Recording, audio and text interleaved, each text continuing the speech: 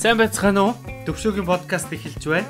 За, тэгээд төвшөөгийн подкаст ирчүүдтэйгээ холбогдоод байна. За, тэгээд Америкийн нэгдсэн улсаас очроо маань. За, Австри улсаас Төвшин баяр маань холбогдоод байна. За, энэ өдрийн минь төргий. За, энэ өдрийн минь За, баярлалаа өдрийн минь төргийа. Аа. За, та бүхний маань ажил үйлс сайн биз дээ? Оо, сайнс. За, өөдрөг сайхан байна да. За бид гурав ч одоо уулзалтаагүй 2-7 хоног хонцглоос ярих юм зөндөө гарч ирж байна те. За, Одоо бүр бие биендээ бүр дасчихжээ 7 хоног нэг 2-7 хоногтой гэдэг яриад исэн чи бүр ярмаар санагдаад идэг болсон байх. Тий, харин. Тэгж. За. За өнөөдөр хинээс яаж эхэлэх үү? Тэгээд шууд өмнөх сэдвийнхаа юу одоо комментиг нэг хальтхан яг онцлоод тэгээд шууд эхлэе гэж бодож байна. За, тэгээ. За уламжил ёсоор YouTube-ээс эхлэх үү? Манай YouTube-ыг манай очроо маань хэлдэг, онцолж авдаг байгаа тий. За, тий. За, юуны төрөнд төвшөөдөө баяр хүргэе. Мгм. Төвшөөд бэлгээ баяруудаа баяр хүргэе. За баярлалаа. За, энд нэг товч өгөөд ёстой тодорхой э, үн чим шиг тийм коммент бичсэн байна л да. Нима нима гэд. За. Э, хамгийн их лайктай Аа. Төр дээр тэгээ тэрийг л уншчихъя гэж бодлоо. Тэрэн дээр болохоор өөрийн ажлыг үнэлүүлж чадахгүй байхыг боолын хөдөлмөр гэх баха. Тэгэхээр жинхэнэ боолын хөдөлмөр Монголд л байгаа баха гэж. Аа. За, Тийм байна тий. Аа. Э зөндөө коммент байна. Харин тийм байлээ. Оо, уншаал л уншаал. Дуусахгүй нэр. Тэгээ бас одоо бид гурвын бас подкастн дээр бас хүмүүс маань бас өөрийн гэсэн бас оролцоотой бас сэтгэлдээ хилдэг болоод байгаа болоо гэж би харсан шүү дээ.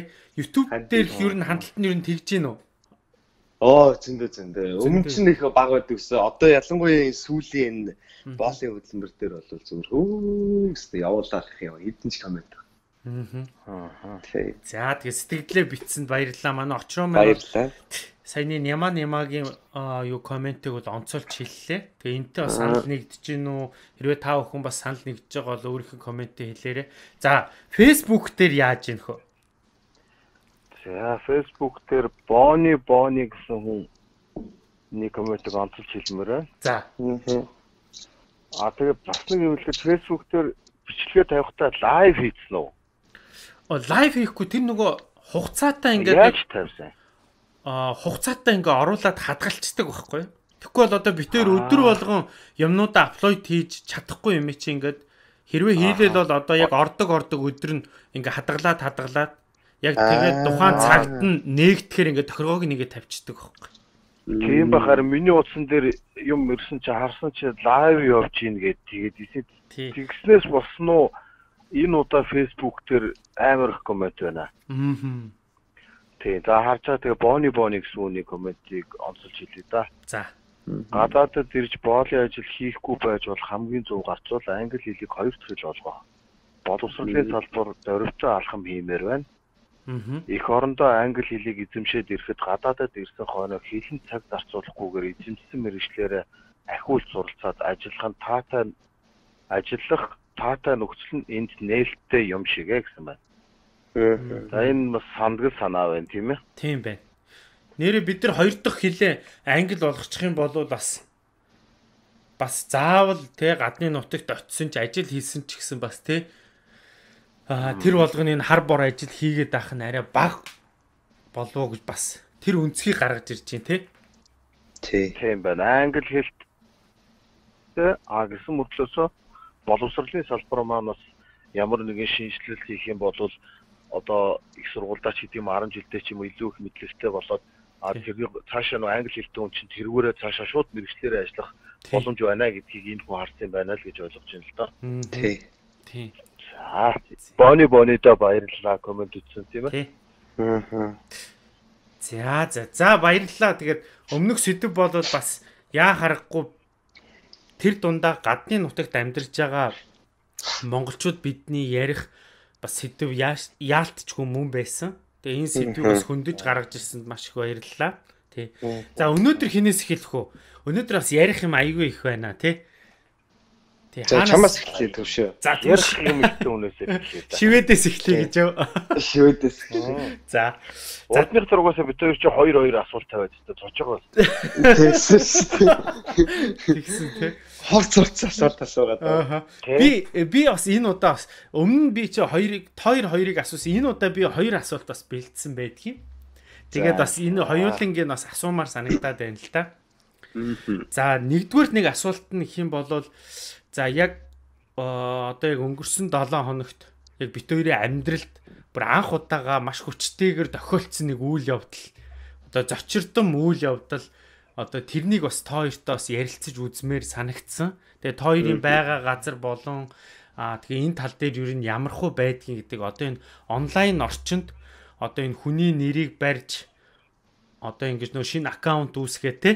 А тэгээ янз бүрийн одоо тэр аккаунтаараа дамжуулж хүмүүст мөнгө өгнө гэдэг ч юм уу те.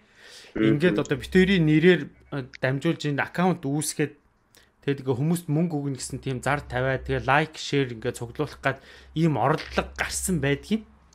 Тэгээ тэр нь одоо ингээ зогсохгүй ингээ тэрэнд нь хамгийн гол нь би энүүгээр тойроос юу асуух гээд байна уу гэхээр нэгдүгээр хэрвээ тойрын байгаа газар иймэрхүү байдал яах юм бол энэ тал дээр одоо ямар хууль дүрм ч юм уу тойр хэрвээ мэдж байгаа бол ямар хууль дүрм үйлчилдгийг те а энийг тойр мэдж байгаа бол нэг хилээч хоёрдугаарт бас нэг энэ тал дээр ингээ итгээ тэрэн дээр лайк шеэр хийгээд яваад байгаа улсуудад юу гэж бодож гин те?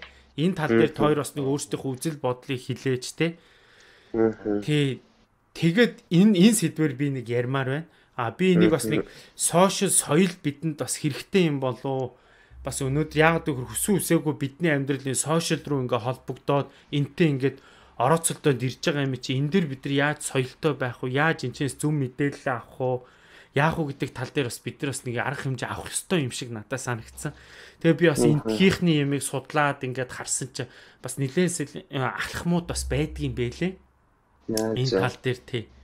Энэ тал дээр та хоёрын санал бодлыг солилцмоор байна.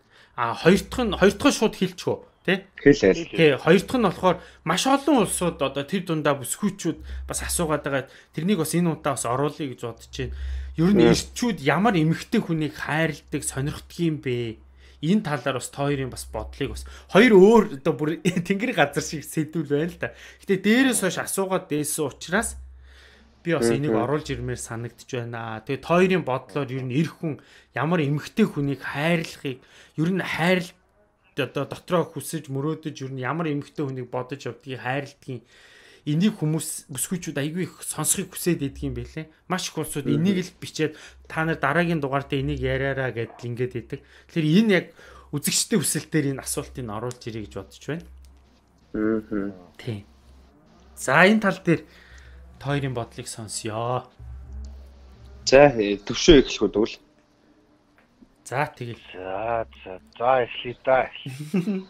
Яг хэлчихсэн чи очроо төрүүлээд хэлчихлээ одоо хэлсэн. Одоо төвшөө ороо төвшөө ороо. Тэ. За эхний сэдвүүд дээр тэр сэдвүүд дээр одоо би нэг ийм хэлмээр санагдаж байна л да. Хуурамч аккаунт тийм ээ? Лайк, шеэр цуглуулдаг. Тэ. Тэгээд хамгийн гол мөнгө мөнгө өгөх гээд байгаа шүү дээ. Тий. Ааха.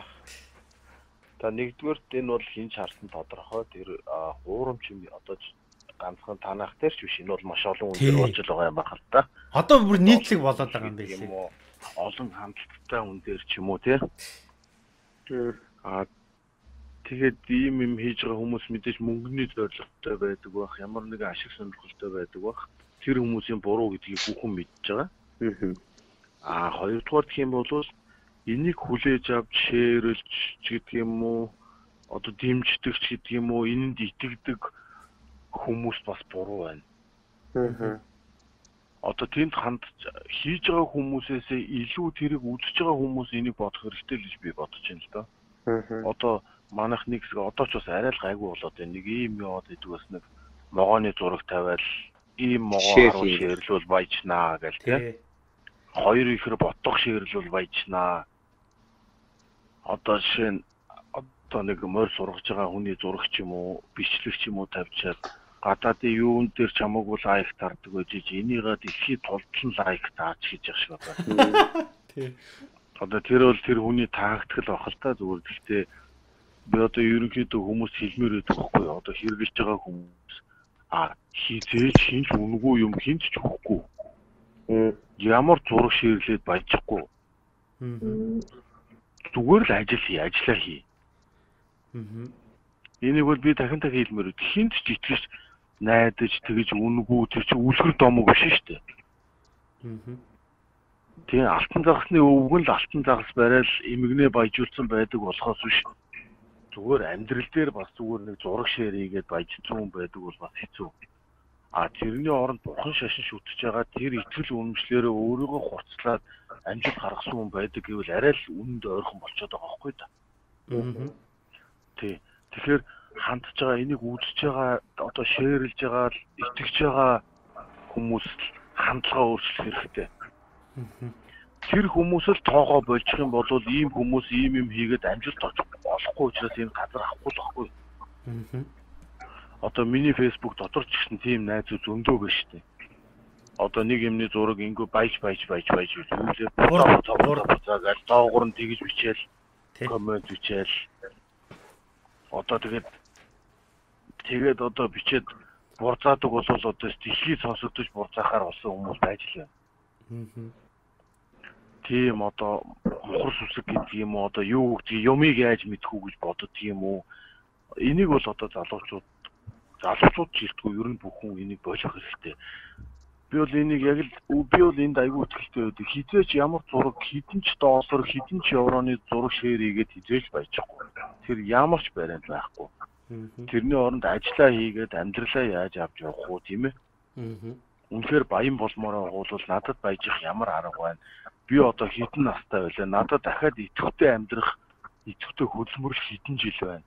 А тэр жил би юу хийх үү? Тэр төлөвлөгөө гаргаж алхам алхмаар баяжиж явах. Баяжихын тулд тэмүүлэх хэрэгтэй тийм ээ? Хэрвээ үнэхээр тэгж баяжих хүсэлтэй байгаа бол хүнээс үнгүй юм авах хүсэлтэй байгаа бол баян хүмүүс ярьдаг шүү дээ. Одоо тэр онгоо ч юм уу юу чинь би чамтай яриа сууж хахад миний мөнгө орж л байгаа гэд. Намайг унтж хахад миний мөнгө орж л байгаа гэд. Тэр чинь хүн сонсоход амархан юм шиг мөрдлөөсөө тэр хүн чинь тэрийг бүтээхийн тулд хэдэн жил хөдөлмөрлөж залуу насныхаа хэрэг хугацааг зарцуулж хэр их ном уншиж хэр их алдаж тийм ээ. Хэр олон салбарт орж үзэж хэр их шантаж утарсан маш олон тийм тохиолдлууд байгаа шүү дээ. Илтэв шидийн зураг шеэрлэл, хуурамч аккаунт нэгээд ч юм уу ийм юм хийгээд явж идэл залуучуудаа нас маань хэд вүлээ хэдэн жил ингэж амьдрах боломж байна гэдгийг бас бодгол хэрэгтэй. Өнөөдөр ганцхан диплом аваад хоёр диплом аваад шууд дарга болдог амьдрал гэж Монголд байхгүй. Энийг бүгдээрээ ойлгох би энийг залуучууд хэлмээр байхгүй та нар дипломтой байлаа ч гэсэн нэг газар ороод нэг жил ажиллаад дарга болоод дараагийн жил нь тэрнийга дарга болоод гурав дахь жил дээрээ тэр группийн захирал болно гэсэн ойлголтоосоо халах хэрэгтэй. Өнөөдөр одоо би одоо яг энэ хуурамч аккаунт дээр далимжуулж хэлмээр санагдаж байна л да. Аа. Хоёр хүний хооронд нь зуршлаа дундаас нь 500 сая төгрөг босгодог, дундаас нь сая төгрөг босгодог, цавчаа хийдэг. Одоо энийгээ болох хэрэгтэй залуучууд. Энд юусоо би сүүлдээ тэгж боддог байхгүй амтсан ажил хийх хэрэггүй зүгээр толгоогоо ажилуулна. Би сэргэлэн байна би болж ийн өнөөдөр энэ нийгэм сэргэлэн хүн амьдардаг гэж боддог. Энэ үслэл болох хэрэгтэй. Ажиллах хүн амьдрын ажил хийдэг хүн амьдрын зөв амьдрдаг хүн зөв амьдрын а өнөөдөр болж байгаа юм шиг мөртлөөсөө энэ хүнд наалдаж үлдээгүй а өнөөдөр одоо жишээ нь Монголын хамгийн амжилттай явж байгаа бизнесмэнүүдийг харахад хин хаан хизээ цавчаа хийсээр байгаа баяжтай бизнесмен байна энэ бол яг яривал муухай ус орно Тий. Бизнес хийж үзээгүй хүмүүс албан тушаалаа ашигладаг ч гэдэг юм уу. Энэ сэдвийг би ярмааргүй байна л да. Ийм сэдв Монголоор дүүрэн энэ түн болгон бухимж ягаад би бол илүү байна. Зүгээр ер нь би тэнгийн залуучуудаа л ханж уриалмаар байдаг байхгүй. Энийг л болох хэрэгтэй залуучуудаа. Аа. Одоо ингэж амьдрэх сэтгэлгээнээс болох хэрэгтэй.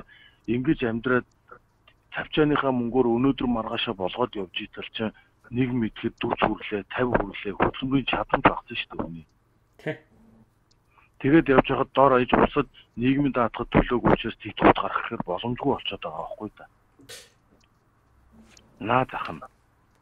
Тийм товчхондоо бол ийм байна. Тэгээд энэгээр бол би миний хэлэх чинь одоо сүүлд нь бат хэлэхэд хамгийн гол санаа аккаунт хийж байгаа хүн гэхээсээ илүү тэрийг хандаж үзэж байгаа тэгэж хүн мөнгө өгнө гэдэгт итгэж байгаа залуучууд минь л өөрснөөгөө жоохон өөрчлөх хэрэгтэй болов гэж бодож байна. Аа.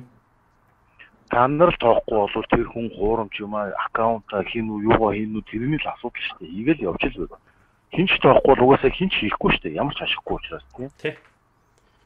Тийм нэгдүгээр асуудал энэ байна. Яг тухайн улс орн энэ дээр ямар арга хэмжээ авдгаа гэдгийг би өөрөө тийм юмгүй болохоор нарийн судалж мэдсэн юм надад байхгүй байна л та. Тэгэхээр бол би тэрэн дээр бас янз бүрийн юм ярмааргүй л байна. Яг би өөрөө сайн мэдэхгүй учраас яг сонсч ирсэн юмнууд байна. Тэрийг би үнэн худлаа гэдгийг өөрөө мэдэхгүй учраас бас яг тийм юм ярмааргүй санагдчихэв. Аа хоёр дахь нь эмэгтэй хүмүүс юу лээ? Хоёр дахь нь эрэгтэй хүмүүс Ирчүүд ер нь тийм ямар эмэгтэй хүнийг төлхөө одоо яг чин сэтгэлээсээ хайрладаг юм бэ? Яг ямар эмэгтэй хүн гэдэг байгаа байхгүй. Аа. Энэ өөрөө айгүй тийм учир битүүлэг асуулт байгаа байхгүй. Одоо сайхан гэхээр айгүй хэцүү. Сайхан сэтгэлтэй гэхээр бас хэцүү тийм. Тий, тэгэхээр бид нар бас нэг ирчүүдэд төлөөлөөд хэлэх нь ч одоо хайшаа зүгээр өөртөө хувь хүний бодлол хийсэн дээр юм болов. За төвшөө өөрөө л мэдэхгүй хэлэх үтэй тий. Аа. За би тэ өөрөө ойлголтоор л ярьчээ дөө.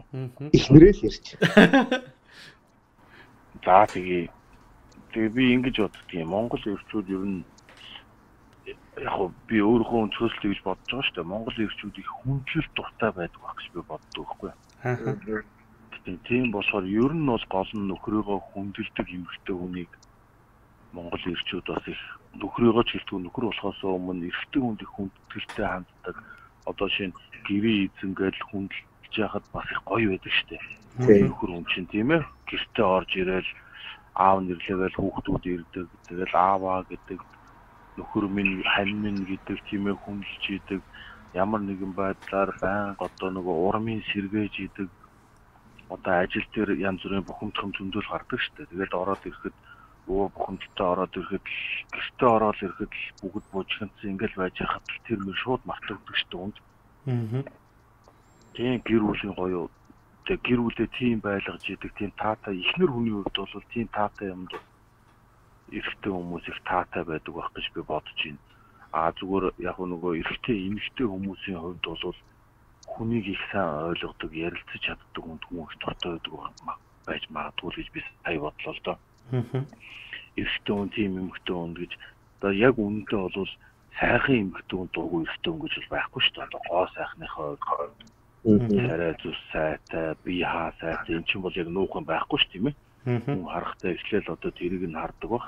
Эртний хүмүүс тийм юм илүү их сонирхдаг мөртлөөсөө а яг ихнэрийн тал дээр эртний хүмүүс бас арай өөр шийдвэр гаргадаг байх гэж би хардгийг. Гой сайхан гэхээсээ илүү тэр хүний дотор нь юу вэ те? Энэ ямар сэтгэлтэй хүн бэ? Энэ хүн надад яаж ханддаг вэ? Гэдэг талаар боддог ч юм уу. Тэгжэл сонгодог болов гэж л би бодож байна л да. Зүгээр яг би нэг жоохон бүхэл юм хариулчих шиг боллоо. Зүгээр одоо нөгөө нэг яг нэг дүнгэж асуусан асуулт болохоор хэрүүдэд орснороо л хариуллаа. Аа. За тэгээд бүсгүүчүүд маань төвшөөгөөс хариулт авсан байх гэж бодож байна. Тий. Гэтэ манай төвшөө маань маш тодорхой хэллээ. Тий. За баярлалаа. За. За, очроо маань энэ хоёр асуултан дээр ямар байр суурьтай байна вэ? За нэгдүгürt болохоор тэр хуурамч аккаунтын талаар тий хуурамч аккаунтын талаар гоо яг нөгөө ойр додод сонгуул эхэлсэн учраас тиймэрхүү юм яваад байна л да тий Аа. нөгөө сонгуулийн реклам, сонгуулийн сурчлагаа одоо эхлэх гээд байгаа болохоор за манайхаа нэг өөрсдийн гэсэн пэйжтэй байхгүй бол болохгүй юм байна гэл тэгэл нэг гайгүй явж байгаа хүмүүсийнхаа одоо пэйж нь хуурамчаар худлаа хэлж авах юм уу тийм ээ Аа. тиймэрхүү юм болж байгаа. Энэ Америкт бол би бас өөрөө сайн мэдэхгүй л байна л да. Яг ямар арга хэмжээ авдаг. Миний нөгөө Америкт Америк одоо пэйж энэ групп байдгууд нь аль хэдийнэ хэдэн жил удаан ингээд мөнхөд оршсон тийм ээ. Аа. Тэгээ бүр сая гаруй дагагчтай ч юм уу одоо нэг тиймэрхүү. Тэгээ би хараад байгаа юм л нэг юм эдгээр чи нэг одоо бүр анх фэйсбુક чи Америкт үүссэн айгу бас олон жилийн юм туршлагатай өөр нэгсэн хуультай олцоод байгаа шүү дээ. Аа. Тэгээ дандаа нэг одууд нь тэгээ дандаа одоо нийгэмд одоо ингээд дүлгэн төвшөө та хоёр шиг ингээд юм хийдэг хүмүүсийн одоо пэйж үүдийг одоо нэг юм зөв тэмдэг байгаад гэдэг цэнхэр Тий. Оо яг. тий.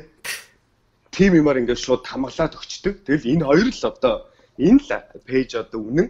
Мгм. Бусд нь бол хуурамч шүү гэд юу яатсан. Дээрээс нь одоо юу гэдгийг Америкчууд өөрсдөө ч гэсэн нэг энийг нэг шеэрлээд өгөөч, энийг нэг лайклаад өгөөч гэсэн тийм байхгүй учраас нэг айхтар юу яадаг болох гэж байна л да.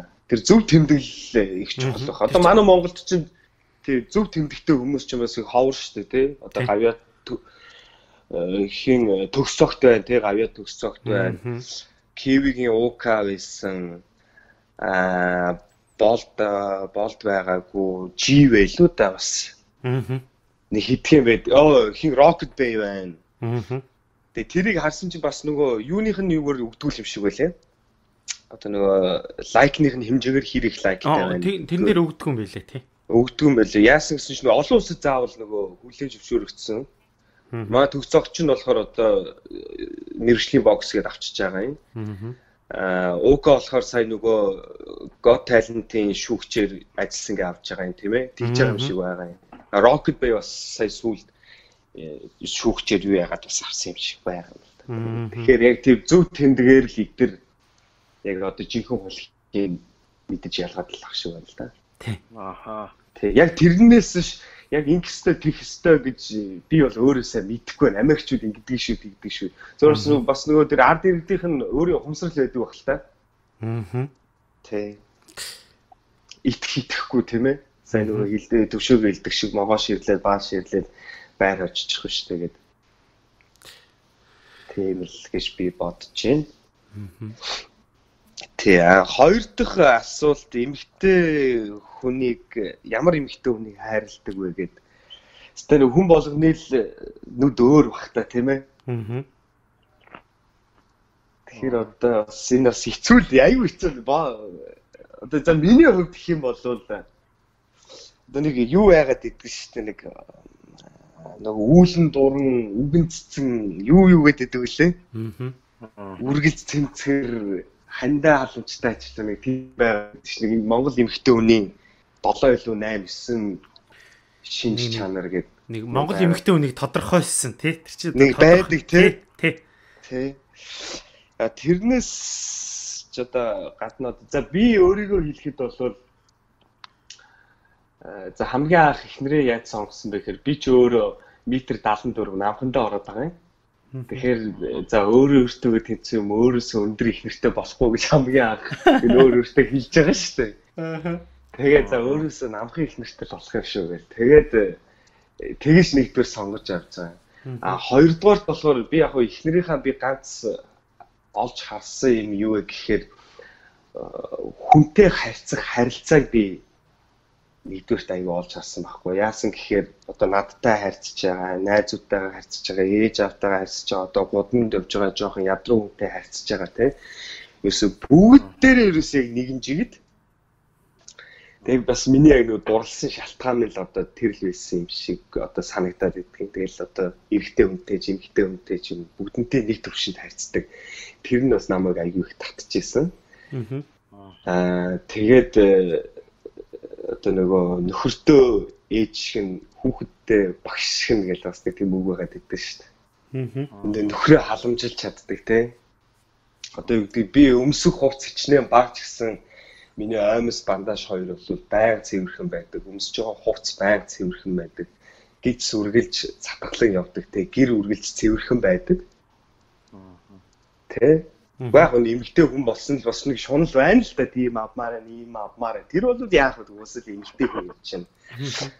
Аа тэгэхээр бас яг гэртээ яг гэрийн эзэгтэй шиг байж чаддаг гэдэг л да манай хүн. Яг босод эмэгтэйчүүдийг сайн мэдэх нь ихрээл яриад байна.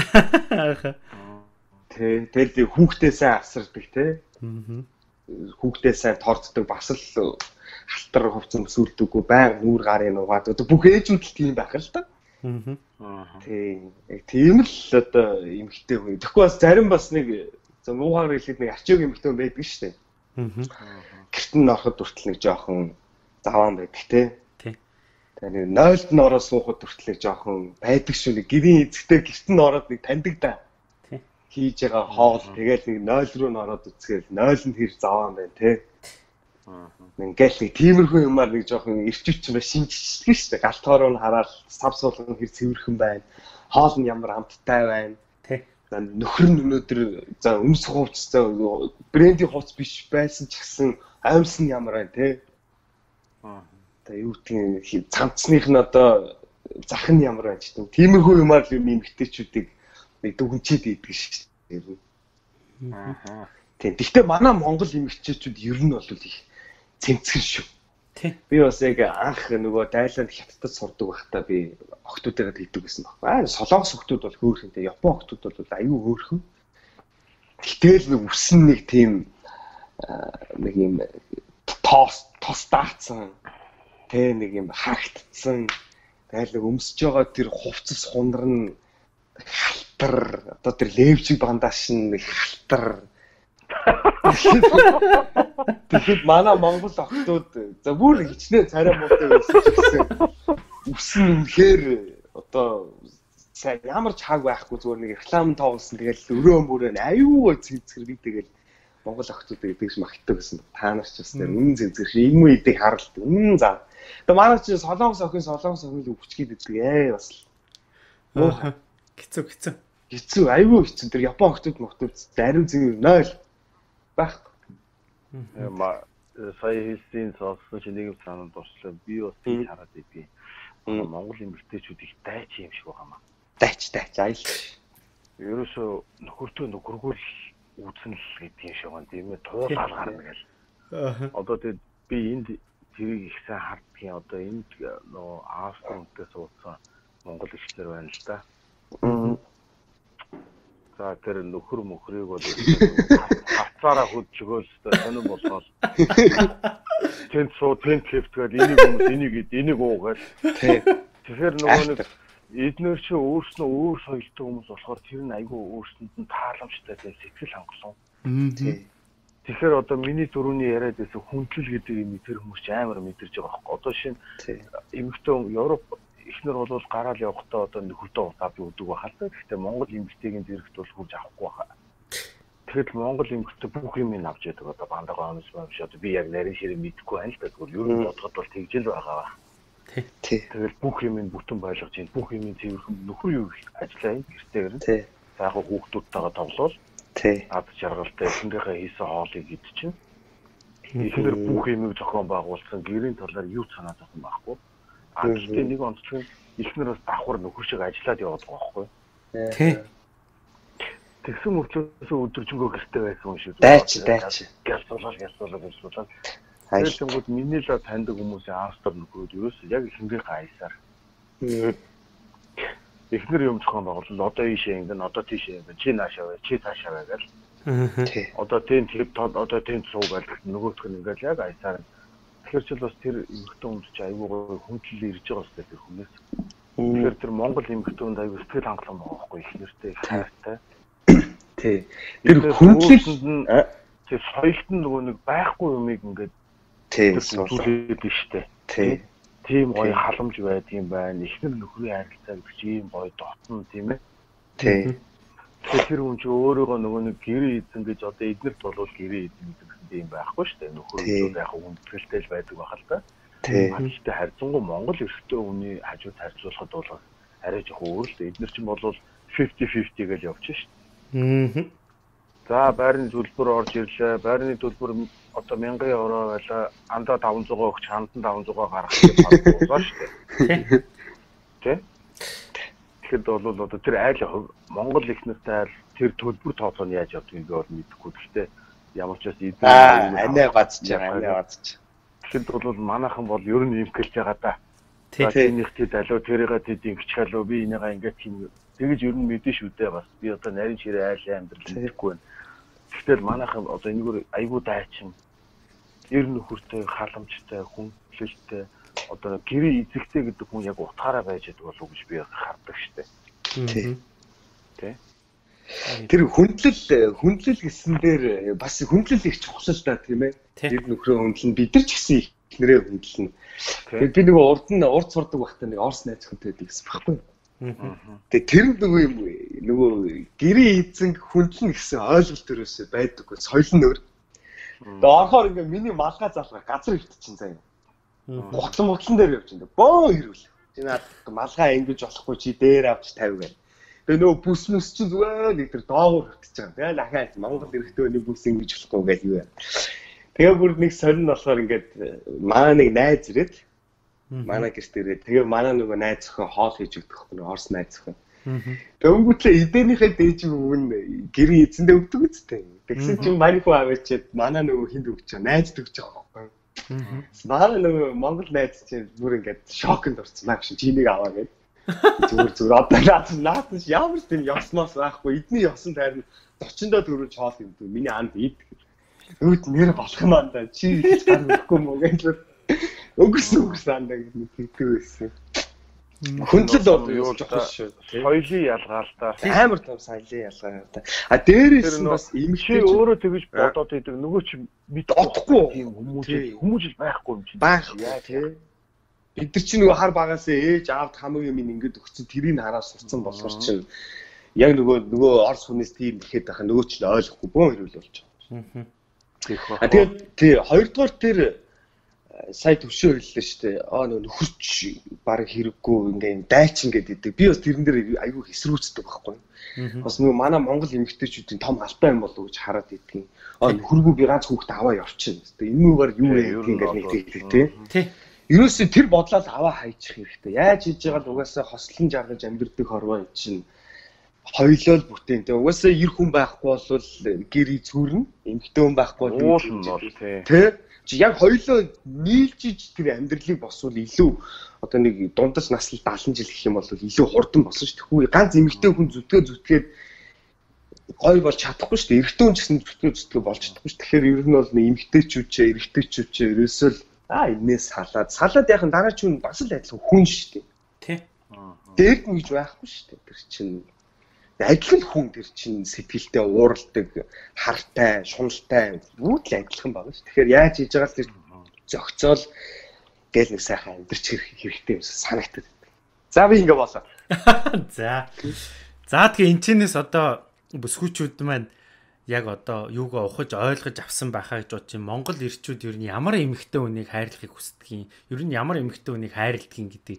Тэгээ энэчнээс бас нэг юмыг бас ялгаж бас харж авч байгаа бах манай одоо бас те гадаад хүмүүстэй суусан бүсгүүчүүд маань ямар том соёлын хоёр том зөрчилдөөн дунд тэр амьдралыг гэр бүлийг те зохицлон бүтээдгийм байна гэдгийг бас ялгааг бас харж авч байгаа хаа. Би бас тиймэрхүү юмнуудыг зөндөө мэднэ. Энд бас зөндөө шивэдүүдтэй суусан гэр бүл болсон. Гэхдээ мэдээж сайхан амьдарч байгаа тийм юунууд гэхдээ маш их зүгээр нэг монгол хүнтэйгээ суухаас илүүтэйгээр их сэтгэлийн төвчээр маш их те илүү их юм шаарддаг шүү гэдгийг л олж харж авсан.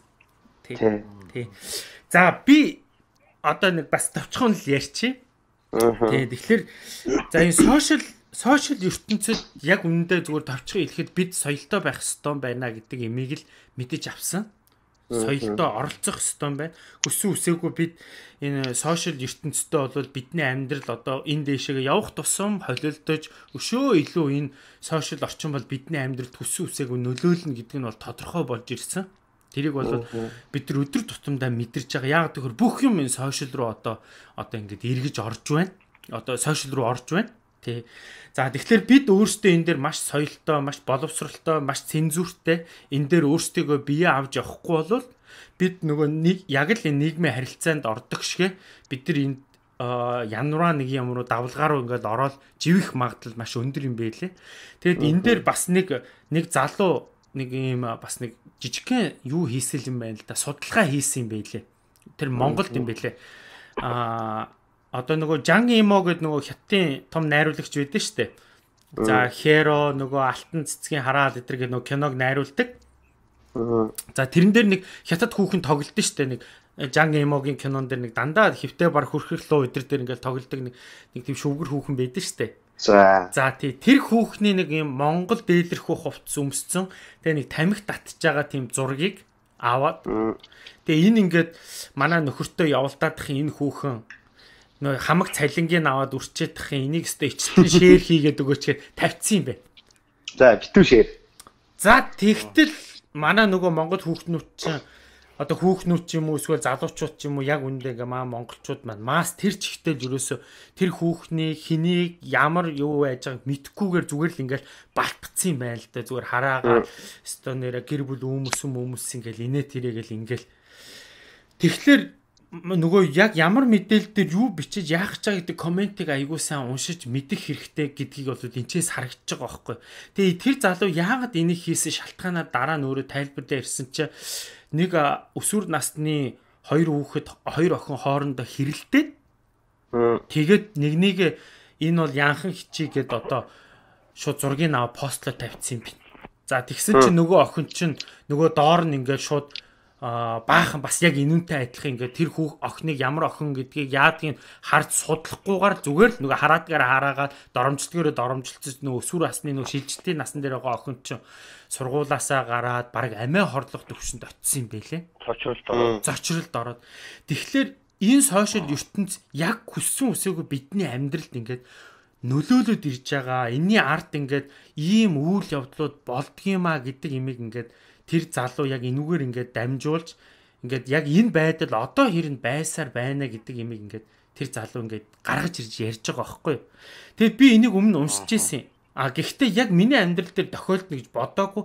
Тэгсэн чинь нөгөө ингээд хүүхдийнхаа юун дээр ингээ 6 сая 5 100 мянган цаас өгнө өдргээд ингээ тавьчихсан чи яг хүмүүс ингээ шууд баахан комент ороод ирдэг юм байлээ. Юун баярахгүй та хоёр ямар баян цатгалын ийм мөнгөө зүгээр энэ ядуу энэ юу байгаа хүмүүс таньдуулчих болдгоо юм уу гэд бахан дайралтууд ороод ирдэг юм байлээ. Тэгэхээр энэний ард энд итгэж байгаа ч гэдэг юм уу? Энэний үр дүн нь иймэрхүү хэлбэрээр гардгийм байна гэдэг биеэрээ тууссан учраас энэ дээр ер нь яг бид нар яг ингээл энэ энэ чигээрэл яваад байх юм уу? Сонгуул сонгуульд ингээд ч юм уу? Эсвэл ямар нэг юм дээр ингээд энэ давлгаа ингээд яваад байх юм уу? Энэ дээр бас яг яах хэвээр шивэж ер нь яг яадаг юм бэ гэд ингээд судлаад ирсэн чи шивэд бол энэ дээр маш том хуйлттай байдаг юм байлээ. За энэ бол ингээд монголоор Монголд бас захим гимт хэрэгтээ тэмцэх хилцсгээд бас байдгийн билээ. Тэг юм. А тэр тэмцэх хилцгийж байгаа мөртлөө яг энэ захим орчинд яг яасан юм тусгаалын одоо яг ингэж юу яасан нэр төрд халтсан ч гэдэг юм уу ингэж бусдын нэр төрийг барьж мөнгө олох гэсэн иймэрхүү одоо тохиолдлуудад иймэрхүү кейстэй ийм юм хуулийн зүйл заалтус одоо үйлчлэнэ ч гэдэг юм хууль бол би бас сайн олж харж чадаагүй. Гэхдээ би бол а бас сайн олоогүй болохоор зарим хэрвээ байдаг бол над руу бас энийг явуулаараа хэрвээ манай Монгол орчинд а шивэд бол энэ хууль бол маш хатуу байдгийн билээ. За тэгээ энэ шивэдийн хууль гэдэг чинь өөрөө Европын холбоонд тэр чигтээ үйлчилждэг учраас энэ өөрөө Европын холбоонд энэ хүний нэр төр халдах дээрэс нь хүний нэр төр ч юм уу эсвэл интернет орчинд худлаа мэдээлэл одоо давалгаа үүсгэж энэ дээр бол маш өндөр хариуцлага тооцож бүр зарим бүр бүр шоронд оруулах хэмжээний бас зүйл заалтууд бас байдгийн байлээ. А тэгээ тэр улсууд одоо энийг хийж байгаа улсууд маань ингээ би баригдахгүй ч гэдэг юм уу те энэ нэрний цаана би олдохгүй боддог тийм юм байдгүй юм байлээ. За энэ юун дээр гарч идэв хэдийнхэн чинь нөгөө интернетийн үйлчилгээ үзүүлж байгаа компани байгаа ч. Тий. Одоо Монголд бол ерөөсөн маш Европын холбоо бол маш олон үйлчилгээ үзүүлдэг компани байгаа. Тэгтэл лидер базчаад байгаа байхгүй. Монголд бол интернетийн үйлчилгээ үзүүлдэг ерөөсөн тоотой ерөөсө гарын 13-нд магтгал компани байгаа шүү дээ. Тэр компаниудтай хамтарч ажилладаг юм байлээ. Тэгээд яг тэр аккаунтынх нь одоо тэр юугээр нь аккаунтынх нь тэр IP адресаар нь хөөгөөд тэр хүнийг бүх мэдээллийг олоод авчдаг юм байна. Олоод авчдаг. Тий. За тэгээд хэрвээ одоо янз бүрийн иймэрхүү юм байх юм бол нөгөө интернетийн тэр үйлчилгээ үзүүлдэг компаниуд энэ цагдаагийн энэ юунуудтэй хамтарч юм байлээ. Тэгэхээр энийг нь бол зүгээр тэрүүгээр нь маш амархан бариад авчдаг учраас тэр хэрэгтэн ч төгс айгүй амархан илэрчдэг юм бэл. Тий. Тэгэхээр энийг тэгээд хамгийн гол нь би энэ дэр нөгөө сошиал соёл гэд юу вэ гэхээр ийм интернет орчинд ийм амархан одоо тий ингэж ингэж одоо хэрвээ ямарваа нэгэн мэдээлэл ингэж алдагдах юм бол ингэж ингэж хуулийн заалт ингэж үйлчилдэг нэгдүгээрт а хоёрдугаарт ингэж ингэж таны хэдийн нууцтай аккаунтаар нээсэн ч гэсэн ингэж таныг амархан барина а хэрвээ та үнэн зөв мэдээллийг хүсэж байгаа бол тэр албан ёсны зөв тэмдэглэгээтэй ийм юмд итгэж байгаараа гэсэн энэ суртал ухуулга энэ бүх мэдээллийг бас өргөн маст ингэж хүргэж байх ёстой юм билээ. За. Тий. Энэ энэ мэдээлэл маш ихтэй байж аж энэ мэдээлэл яаж аж хүмүүс маань хаанаас ямар цензуртай ямар мэдээлэл яаж авах вэ? Одоо жишээ нь хуурамч аккаунтыг яаж таних вэ гэдэг бүр юм бүр сурчлагын видеонууд хүртэл ингээ зөндөө байдаг юм биш. Хм. Тэ. А зөв аккаунтаас зөв аль бие усны хуудасаас бид яаж мэдээллийг үнэн зөв авах вэ гэл тэр нэнгүүт Facebook дээр одоо YouTube дээр за тэр Instagram дээр юм зөв тэмдэглэгээтэй энэ бол тэр хүний аль бие усны хуудасаа тэр гэл ингээд энэ бүх юмыг ингээд 10 жилийн хүүхдүүдийнх нь хүтэр хичээлд нь хүртэл ингээд таниулсан тийм хүүхэлдэйн киногоор хийцэг хичээлүүд ийм одоо контентууд эдэр ингээд давхар ингээд тэр байгуул ингээд маш хүчтэй хийдэг юм бэл. Тийм. Тэгэхээр манад одоо яг энэ ингээд одоо л ингээд яг хүчтэй ингээд хөгжиж байгаа учраас манайх одоо энэ энэ давлгаа сонгуул ойртох тусам ингээд ихсдэг учраас энэ дээр бас яг энтэй адилхан энэ давлгааг энэ суртлах хуулгын давлгааг бас өшөө сайн хийх ёстой юм шиг надад санагдсан. Одоо нөгөө тэр яам тамгийн газар нь тэр боловсролын газар нь тэр хүүхдүүдэд тэр сургууль дээр хичээл дээр нь энэ бүгдийг Тэгээ бид тэр а тэгээд хамгийн гол нь эннээс гарч байгаа үр дүнгууд нь ийм ийм хор уршигтай үр дүнгууд байна гэдэг одоо бодит жишээ кейсүүдийг тэр гаргаж ирэх хэрэгтэй юм бэл. Одоо тэр залуу бол айхтар гаргаж иж тавьсан байлээ. Тийм. За тийм байна. Энэ дээр тэгэхээр манай Монголд бол одоо энэ сошиал соёлыг нь түгээх энэ үйл ажиллагаа одоо маш их өгүүлэгдэж энүүгээр бид нар ард иргэд цангаж байгаа юм байна гэдэг нь одоо хэрн ойлгомжтой юм бэ шүү гэдэг юм харагдаж байна. Тэгэхээр энийг бол сонсож байгаа тэр албаны байгууллагууд нь сонсож байгаа хаа. Тэгээ манад бас юм захим гэмт хэрэгтэй тэмцэх гэдэг юм бас пэйж хуудас байд юм байлээ. Тэгээ тэднийх рүү би хүсэлтэд явуулсан. А тэгээд яг энэ энэ одоо яг одоо энэ нэр төр хүний нэр хүндийг ашиглаж гэдэг юм уу эсвэл хүний зургийг ашиглаж хүмүүс заллиж мөнгө төгрөг өгнө гэсэн энэ бол гэмт хэрэгт бол ордгийн бэлээ. Европын холбоонд заллин заллин гэдэг тий. Тэгэхээр манай Монголд энийг бол бас гинт хэрэгт оруулдаг байх. Тэгэхээр энэ дээр ямар хуулийн зүйл заалт яаж яардгийг тэг би хүсэлтэд явуулсан байгаа. Тэгээд одоо хэрэн тэрний хариу ирээгүй л байгаа. Тэгээд харж илвэ. Тий. Тий. За хоёрдугаар асуудал дээр бол аа миний хувьд бол яг тооёртой бол нэгдүгээрт бол 100% санал нэг байна. А Монгол ирчүүд ямар эрэгтэй хүнийг хайрладаг вэ гэхээр яг үнэндээ бол бас л яг эр хүнийг энэ бол бас дэлхийн нийтээр л байдаг байх л та. Гэтэ манай Монгол ирчүүдэд түлхүү байдаг бах бас нэг эр хүнийг хүндэлдэг тий. Эр хүнийг бас нэг эрх хүнээр нь байлгаж чаддаг. За тэгээд хэрвээ тэр эрх хүн аав болчих юм бол аав хүн шүү дээ гэж одоо эн чин чиний аав аавыгаа ингэх ёстой гэдэг үлгэр дуурайллыг өөрөөр дамжуулж хүүхдүүддээ ингэж байнга сургаж чаддаг тийм эмэгтэй хүнийг Монгол ирчүүд маань хайрлж хүндэлж бас ингэ цаашдаа хайрлж юм болов гэж би бас хувьдаа боддог байхгүй юу. Тэгээд тэгэхээр Монгол ирчүүд маань бас бас Монгол бүсгүйчүүд маань энэ тал дээр бас маш сайн бодоорой. Хэрвээ та үнэхээр л нөхөртөө илүү их хайрлуулахыг хүсэж байгаа бол илүү их те өшөө илүү их хайрын татахыг хүсэж байгаа бол энэ талаа аягүй сайн бодоорой. За тэгээ манай Монгол ирчүүд маань бас бас нэг тэгэд нөө толгой дээр нь гарна гэдэг чинь бас тэр болгон бас гарахгүй хаа манай Монгол ирчүүд маань бас тий бүсгүй эмгтэй хүн эргээгээ тгий сайхан хүндлээд өөрийн тэгж гоё дээдлээд ингэж яхад бас нэг энэ мүү намайг заавал ингэх ёстой гэсэн шиг нэг алдтай юм шиг бити харьцаараа эргээгээ бас тэр эмгтэй хүнд хайр хүндлэлийг бас өгөөрөө гэдэг юмыг бас хэлмээр байна тий тий Ааха. Би би яг сайн нэг юм саачлахаас хэлчихв. За тэгье. Аа одоо тэр хүндлэл гэж бас нэг юм байгаад байгаа шүү дээ тийм ээ. Тэрэн дээр нэмээд хэлэхэд бас яг миний энэ Америкт ирээд анзаарсан нэг зүйл баг. Энд эрэгтэй эмэгтэй хоёр яг нэг төвшөнд байгаа. Тэг. Эмэгтэй нь юм ярихад эрэгтэйчүүд бүгд сонсно. Аа. Эрэгтэйчүүд юм ярихад эмэгтэйчүүд бүгд сонсно. Монгол яадаг вэ гэхээр эмэгтэй хүн юм ярихаар бид нар эмэгтэй хүн дээр гарахыг дургуй юм санагдаад байгаа Монгол дандаа нэг төсөлдөг ирчүүд аа чи ирчүүд юм ярьж чи дугаагаач. Тий. Гээл нэг тий. Аа.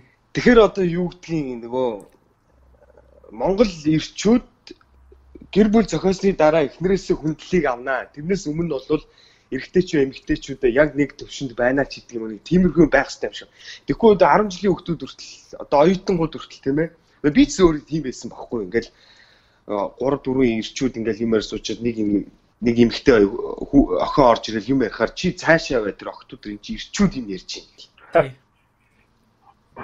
Тийм хандлага байдаг тий. Тий. А энд бол ерөөсөө би бүр яг энийг яг нэг сая анзаарсан байхгүй. Аа ийм байдаг юм байна да. Эмэгтэй юм ярьж байгаа ирчүүд бүгд сонсон. Тэгэл тий. Европт бас тийм шүү дээ. Ерөөсөө номер 1-т эмхтэн хүн шүү дээ. Аа. Тий, хууль нь. Одоо бүр тэгээ тэр хууль нь бүр даймжсараа гэр бүл рүү ороод хэрвээ эхнэр чинь тэр орой таныг хүсэхгүй бол эрэгтэй хүн тэр эмэгтэй хүнтэй бэлгийн ажил хийж болохгүй гэсэн бүр хуулийн заалт хүртэл гарч байгаа юм билээ. Оо ятраат. Тий, хэрвээ асуун. Ингээд би өнөөдөр ингэхүү гэд. Хэрвээ үгүй гэх юм бол хэрвээ үгүй гэсэн тохиолдолд хүчээр хийх юм бол одоо шууд хүчин рүү орох юм байл л тий. Оо тавтай. Тий. Аа шивэдэд тийм гарч байгаа юм уу? Тий. Одоо тийм хууль энд чинь нөгөө ер нь бол ингээ гаднаас нь харахад ингээд ирчүүд нь ингээ юу яадаг ч гэсэн тэгээд эмгтээчүүд бол айгүй давуу эрэхтэй. Аа. За ийм байна да. Тий. За за. Миний хоёр сэдв бол ийм байна. Аа төвчтэй. За тэгээ миний хоёр сэдв дээр сонсож байгаа та бол аа та бүхэн бас бодлоо хэлээрэ гэж хэлмээр байна тий. За. За одоо та хоёрлоо орох уу? За тэгээ. За тэгэхээр. За очроо нэг хорцод бай. За би нэг ийм сэдвгүй байсан. Сайн нэг манай хоёр найз Монголоос ирээд За. Тэгээ нэг нь болохоор нэг 2 7 хоноод нэг нь одоо хүртэл байгаа л та. Тэгээ би хоёуланд нь цаг цав ерөөсөө гаргаж чадахгүй байсараад нэг нь сая Монгол явуулчихж байгаа байхгүй юу? Аа. Тэгээ би жоо дотроо бодлоо би их муу найз юм а гэж. За. Тэгээ олигтой үйлчилж чадаагүй яг манад байсан ч гэсэн олигтой үйлчилж чадаагүй.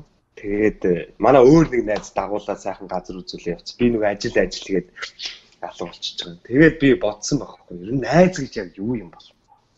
Аа. Тэ ирчүүдийн нөхөрлөл, эмэгтэйчүүдийн нөхөрлөл тэ. Аа. Тэрний талаар л асууя. Та хоёр хэрвээ одоо хэр сайн найзууд вэ? Гэж нэг тийм асуулт асууя. За аль төвшөө нэхэлдэггүй шивэд төвшөө юу? Австри төвшөө юу? За шивэд төвшөө эхэлчихтэй. Аа. За. За би яг үннийг өчьё. Яг энэ дээр өөрийнхөө л бодлыг хэлээд. Тэ энэ юу вэ гэхээр яг үндэ найзын сэдв дээр би айгүй эмзэг байдаг. Аа яг үндэ би бас нэг олон найзгүй. Тэ тэгээд бас найзтай байхыг ч нэг хүсээд байдгүй. Аа тэгээд э, хамгийн гол нь эргээгээд асуудлууд үүсэх гээд идэг. Тэрнээс нь би айдаг байхгүй. Тэгээд асуудал үүсэхээр тэр хүнээс хөндөрчөд идэг. Хит би яг ингээд зузаараад бүр ингээд бүр илэн далангуу болохоос айгүй айдаг байхгүй хүнтэй. Э, Тод найз ч гэсэн бас нэг тодорхой хэмжээний бас нэг тийм зааг байх ёстой юм шиг надад санагдсан. Тэг. Тэгэхгүй бол ингээд хитрхи бие биендээ итгээд хитрхи ингээд бүх юмд нь орооцолдоод бүх юмд нь ингэчгээр нөгөө эргээгээд тэр найздаа гомдох, эргээгээд найздаа туйных өө энэ ийм байсан юм уу гэдэг нэг тиймэрхүү бодол үүсээд тэгээ мууталцаад үрд тэр хүнээсээ холдоод хоёр тишээ болох тийм эрсдэл байдгийн байлээ. Би өөрөө ч тийм юмд учирч исэн. Тэгэхээр яг үнэндээ би нэг одоо одоо нэг хүнтэй ч юм уу сайн найз болохыг одоо сайн найзтай болохоос бол айдаг. А зүгээр сайхан юм одоо тий бас нэг сайхан нэг найзууд идэв штэ ингээ тий. Нэг тодорхой нэг заагтай байдаг тий. Тийм найзуудтай бол зөндөө найзууд бол байгаа. Гэхдээ бүр ингээ амьдрал руугаа оруулах оруултгүй ингээл өдөр шүнгүү уулзаал, орой болгоо уулзаал, орой болгоо уцаар яриач гэдэг юм уу тий. Тий. Тэрнээс айгу хол айдаг байхгүй. Тэгээд би бас багтаа нөө намайг баг байхад манай багш одоо нөгөө хүүхдээ ордны драмын дугуулангийн багш тийг сургадаг гэсэн байхгүй. Хизээж бити найзтай бол хизээ нэгэн цаг чиний тэр чин дайсан чин болно. Хизээч битгий дайсантай бол хизээ нэгэн цаг тэр чин чиний найз чин болно гэж битрийг баг байхад тийг сургадаг гэсэн. Тэгээд би ингээд тухайн үедээ ингээд тэрний үгний утгыг юусоо бодод ойлгодгүй явсаар байгаад оюутан болоод яг нэг найзтай ёстой нэг ардаасаа гутах шаалгана гэдэг юм түүх надад болоод тэгээд багшийн төрөв оройд орсон байхгүй. Хай. Тэгээд дараа нь шивэдэд энд ирээд бас нэг ингээд нэг залуутай бүр айгүй сайн найзлаад дөнгөж ирээд хэцүүч байсан. Тэгэл тусалж муслаад ингээл ёстой өшөө ингээл найзууд болоод ингэтэл эргээд тэр найз маань нөгөө нөгөө жоохон тэр нөгөө юутай ингээл нөгөө цаг зав зарцуулах уулзаж учрах тэр нь багсаал ингэсэн чинь нөгөө гомдох асуудал үүсэл тэгэл мууталцах асуудал үүсэл Тэгэл тийм хүн байсан юм байна гэл ардуур дуур ярих асуудал үүсэл. За тэгэл ерөөсөө л цэг тавьсан. Хүнтэй ерөөсөө тодорхой заагтаа байх хэрэгтэй юм байна. За тэгэхээр энэ найзын энэ харилцаанд хамгийн их сэв суулгадаг юм чинь балиар мөнгөний асуудал юм байдаг юм байна гэдгийг амар сайн ойлгож авсан. авсан. Найздаа гэл итгээл мөнгө өгчдөг, зээлчдэг. Нөгөөдг нь эргээгээд мөнгөө өгдөггүй, тэ? Тэгтэл тэр мөнгийг тэр дундаа гадаадд ажиллаж байгаа, тэ?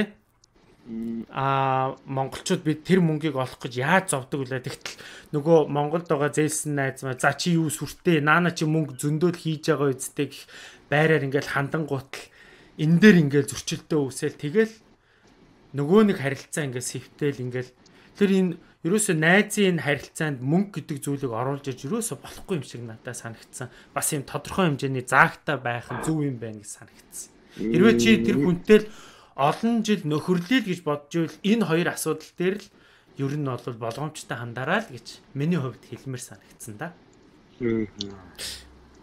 За. За одоо миний хувьд манай миний одоо их сургуулийн нэг найз тэгж ярьж ирсэн нэлээд жилийн өмнө. Хүний найз гэдэг бол ямар нэгэн ашиг сонирхлын зөрчилгүй үнийг л би найз гэж боддог штэ гэж ярьж ирсэн Тэгээд бодоод хад надад тэр үг их үнэн санагдаад байдгийг. Ямар би юунээсээ ямар нэгэн ашиг сонирхол байхгүй. Тийм хүнийг найдах юм байна гэдэг. Тэрнтэй нь бол би санал нийлдэг. Аа хоёрдугаар сая төвшөөгийн ярьсан шиг а би эрттэй хүмүүсийн нөхөрлөл донд мөнгө эмхтэй хүн хоёроход ороход бол миний хамгийн дургүй. Тий. Ерөөсөө энэ хоёрыг л ямар нэгэн тодорхой байр суурьтай байлах хэрэгтэй гэж боддог байхгүй. Мөнгө эмэгтэй хүн хоёр. Энэ дундуур нь бас их орж одоо тэрнээс болж янз бүрийн юм болдог байхал та. А тэгээд өөрийнхөө хэр сайн найз вэ гэдгийг бол би бол өөрөө хийж мэдэхгүй. Тэр миний найзууд л хэлэх байх. Аа. Тиймэрхүү байна. А тэгээд таван голн дээр ашиг сонирхлын зөрчилгүй хүнийг найз гинэ гэдэг үгийг л би ер нь бол бараг л хоолыг олоод хэлсэн болов уу гэж боддгийг. Аа бас нэг юм нь би хүнтэй найзлаа, сайн найзлаа гэхэд ингээл өдөр тутмын амьдралд оролцоод нэг юм юм байд хүмүүсийн нэг юм ярьдаг бод зовлон жаргалаа ярина гэж. Аа миний хувьд бол би тэрийг тэгж боддгийг.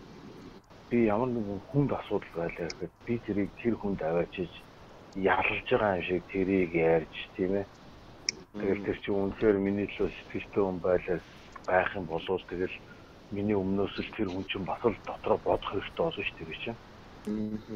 Энэ маань ингэсэн байна да зайлвал энд нэг яаж тусах вэ тэр хүн дараа болж байгаа хэлбэр гэж би бодоод идэв. Тийм учраас би зүгээр угаасаа л өөрөө тийм байсан гэж бодоод байгаа юм л да. Гэхдээ найзууд маань юу гэж хэлхийг би бас мэдэхгүй шүү дээ.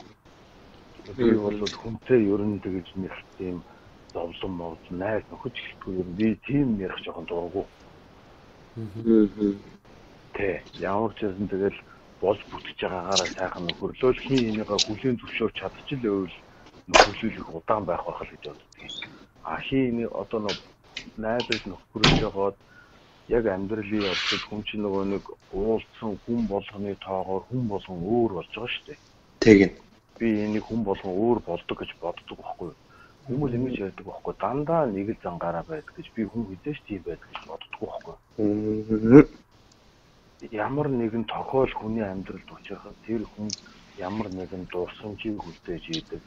Сэтгэлд нэг муу юм тохиолдоход одоо жишээ нь төвшөөгийн саяны ярьсан шиг найзын тухай төвшөө ийм бодолтой болсон байгаа зү.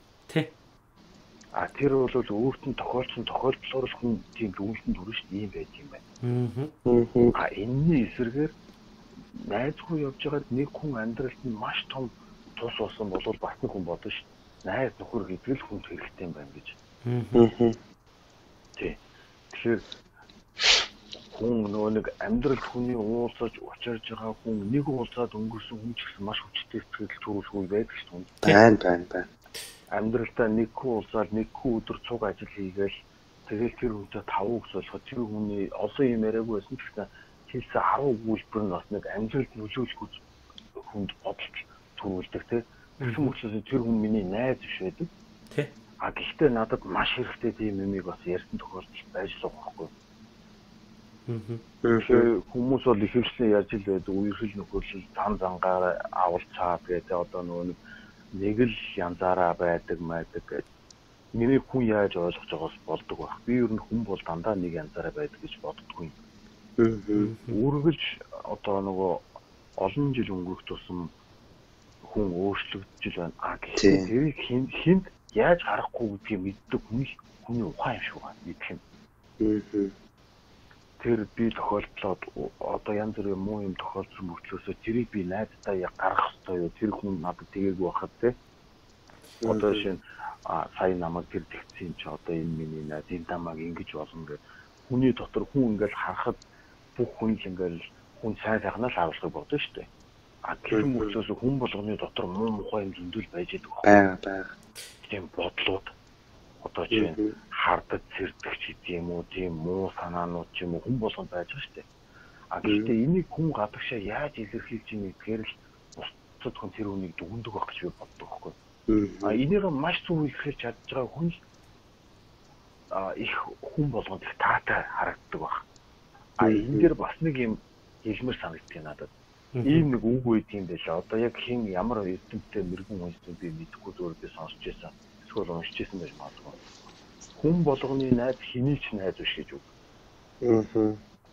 Би энэ үгийг аюул үг гэж боддог байхгүй.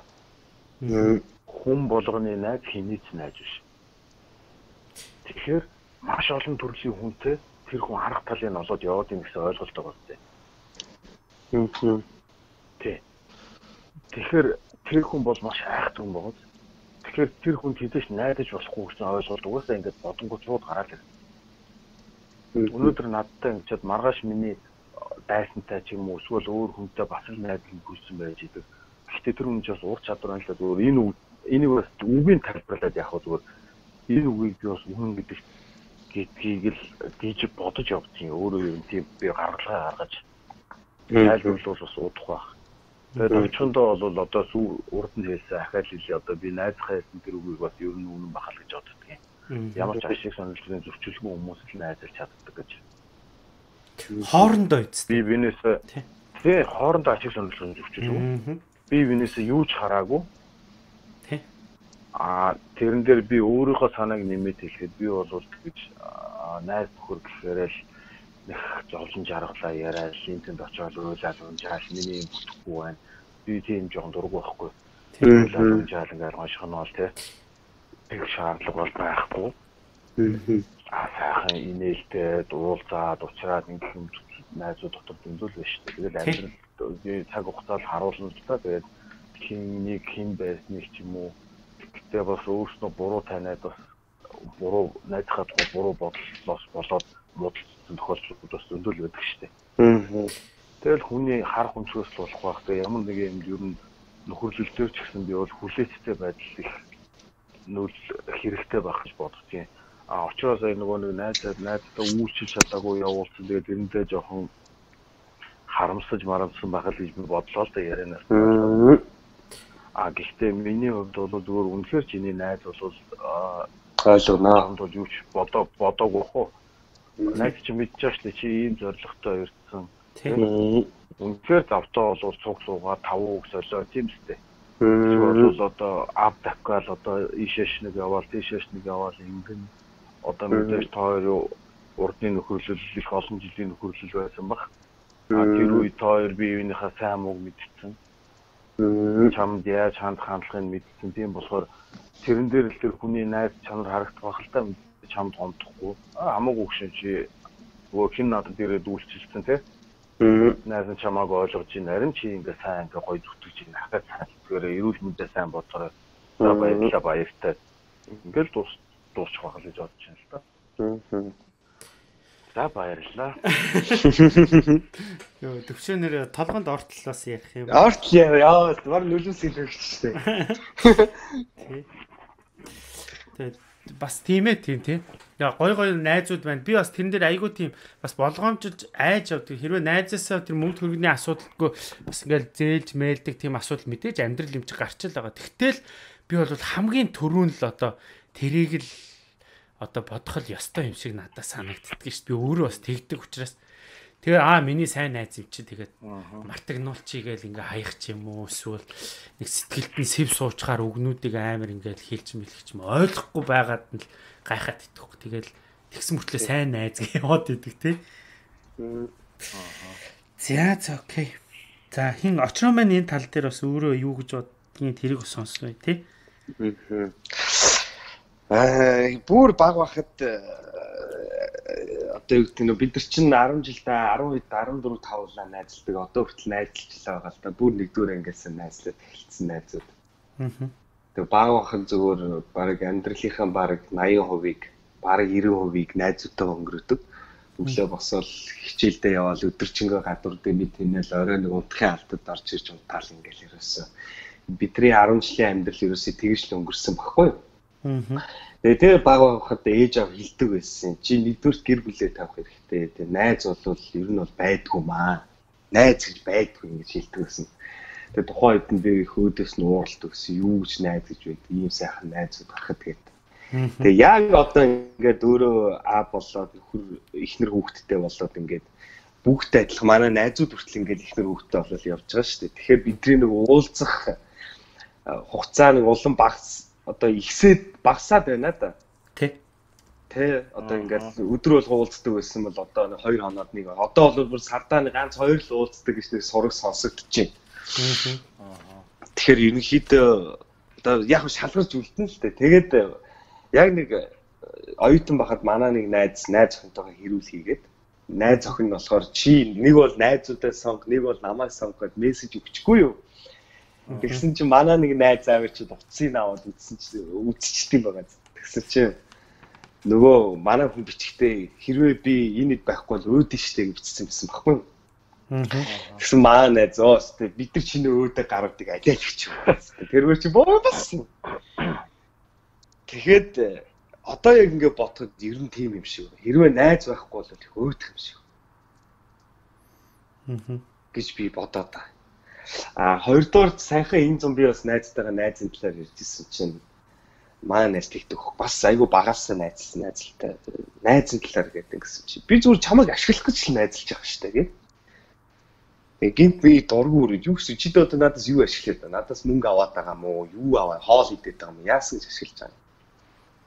Чи надад хэрэгтэй учраас би чамаас аж аргал, би чамаас одоо зөв энерги авч байгаа учраас би чамтай найзалж байна энэ чи минийг осондоо би чамайг ашиглаж юм гэсэн үг шүү дээ. Аа. Тэгэхээр бас нэг бодлыг тэрч зүг юм шиг. Тэгээд нэг би нэг найз гэж бодохгүй байж сая харин найзаагаа эрэхт нэг жоохон юу яаж чадаагүй явуулсан. Тэрэндээ бас нэг жоохон нэг жоохон гимшээд ихүүд. Гэхдээ би хэлсэн л дээ за найз нь 7 сар хүртэл ингэж өдөр болгон нүтгэхгүй бол болохгүй. 7 сард ингэ найз нь машина гарах хэвээр. Тэгээд үнэхээр зав авах уучлаарай гэсэн. Манай ч ойлгосон л доо. Аа. Тий тийм л байна. Тэг. А бэвэж тэгээд нэг юм нэмээд нэг юм нэмээд хэлчихсэн. Яг үнэ шивэдийн төвшөөр хилдгээр ямарваа нэг юм тэгэхээр хязгаар байх хэрэгтэй. Би бай ингэж харддаг байхгүй. Эмэгтэйчүүдийн нөхөрлөл яагаад богино байдаг вэ гэхээр эмэгтэйчүүдийн нөхөрлөл нөхөрлөл гэдэг хэл хязгаараа давж үерхдэг учраас тэдний үерхэл айгүй тийм богино байдаг юм шиг санагдаад байна. Тэр гэр бүлд болж байгаа бүх хэрүүл за тэр орон дотор болж байгаа гэсэн үйл явдал бүгднгийн найзтай хэл. Бүх юм хэлнэ. Тэгээ нөгөөтг нь чи цаашаа битээ хэлээрээ нөгөөт нь хэлэхгүй байж ахаад өө нөгөөтг чи нөхөр тэгсэн гэж штеп. За ингээл ингээ явсараа байгаад бөө юм болоод нөгөөт би чамд хэлж болохгүй гэсэн яасан бэ гэсэн нөгөөтг нь удаас нь хилээ гаргаад тэгээд нөгөө хоёр чинь хэлждэг муудалцдаг. А эрчүүдийн нөхөрлөл болохоор бид чи хичнээн нөхөрсөн ч гэсэн бас тий гэртээ аа манай авгаа ингээд аа тэр ингээд нэг шилчнаас удгүй штеп яриул нэг зодоо ярина машин ярина Тийм ээ. Яг нэг жоохон уул бас үнсрэг үндэсний үзэл одоо юу байдгийг тэгээд нэг том том үсрээл бүд бүд үсрээл. Тэрнээс биш нэ гэр бүлд болж байгаа нэг аав ээж инглээ барьлаа ингээд хоёрын хооронд нэг хоб бацаад идэв учраас бас ирчүүдийн нөхөрлөл жоохон удаан байдаг юм болов гэж хараад идэв байхгүй. Эмэгтэйчүүдийнхаас те. Эмэгтэйчүүдийнхаас те. Тэ. За за за. За тэгээ энэ тал дээр бас сонсож байгаа манай ирчүүд маань за тэгээд энийг бас ажигласан өсгүүчүүд маань бас өөрсдөө өөрсдийнхөө бодлыг хэлэх байхаа тий. Тий. Тий. Заавал бидэнтэй бас санал нэгдэх албагүй өөрийнхөө бодлыг сайхан нин уугүй хэлээрээ Тэр л бидэнд их чухал шүү. За. За одоо Австрийн төвшөө рүү оръё доо. За би одоо эцэст нь нөгөө сүүлийн тэмээ ачаа хүндгээр ганц урт сэдв тавиад байгаа. Аа яа. Айлташ нааш. Та хоёр энийг юу гэж бодож байна? Байртай машинтай болвол хангалуун амьдрдаггүй хүн. Аа. Энийг л асуумаар юм би. Байр Одоо ер нь бол ихэнх ийм юу яриа байна ерөөс айгүй. Хүнээс дутхгүй амьдрна тэр бол мэдгүй зөв гэж харж байгаа хүнтэй зөв буруу гэж харж байгаа хүнтэй буруу. А хүнээс дутхгүй амьдрахын тулд яах вэ гэсэн чинь байртай машинтай байх. А одоо тэгээд машинтай болохын тулд гаражгүй үжиж машинтай болохын тулд маш олон машины зээл төлж байна. А байртай машингүй одоо юу гэдгийг байртай болохын тулд маш олон хүмүүс лизингийн одоо бас л зээлэр л байранд авч байна байр авч чинь тэгээд энийг 20 жил төлнө 30 жил төлнө те. Аа. 30 жил төлчөөд одоо зүгээр л үндсэн зээл рүүгээ ороогүй хүүгээ төлөөд явж гин гэсэн хүмүүс зөндөөл байна. Яг энэ тал дээр ер нь хүн заавал яг байртай, хувийн байртай, хувийн унаатай байх ёстой юу? А байх юм бол яг хангалуун амьдарч ийн гэж бодож болох юм уу? Аа. Энэ талаар та хоёр юу гэж бодож байна? Та хоёрын бодлыг сонсох гэсэн. За хэнэс хэлэх вэ? Очроо юу? Би юу? За чи ихэл би сая дуусгасан шүү дээ. За тэгээд За энэ тал дээр а миний бодлоор бол яг үнэндээ бас яг хиний хэлсэн хоёр өнцгийг бол бид энийг бол хэрэглээ талаас нь харуул илүү их одоо амархан юм болов уу гэж би бодчихно. Тэ хэрэглээ талаас нь энэ бол хэрэглээ юм аа. Байр за энэ машин энэ бол бидний хэрэгжилж байгаа өдөр тутам хэрэгжилж байгаа зүйлсээ. Тэгэхээр арай өөр өнцгүүд гараад ирдэг юм бэлээ. Би бас бас Монголд байхдаа яг л хиний төвшөөгийн хилдгэр байсан. А тэгээд би харин Шведэд ирээд энд төрж ирээд энд байгаа улсуудын амьдарч байгаа байр орчин хараад За тэгээд машин унаагийг хараад ер нь бол бодол өөрчилсөн. За тэгээд дээрэс нь энэ нөгөө аа нөгөө японочдын нөгөө нэг тэр нэг юу байгаа ч тээ. Тэр минимализм гэдэг нэг юм урсгал байгаа ч тээ. Тий, эд зүйлгөө тий. Хэрэгцээ байхгүй тий. Хэрэгцээ. Энэ айгүй амьдралыг амар болгодог юм шиг надад санагцсан. Одоо дүлгүүний дээр тэр номыг уншаад амьдралдаа одоо өөрийнхөө өөрсдийнхөө байгаа орчиндоо өөрсдөө хэрглэж байгаа.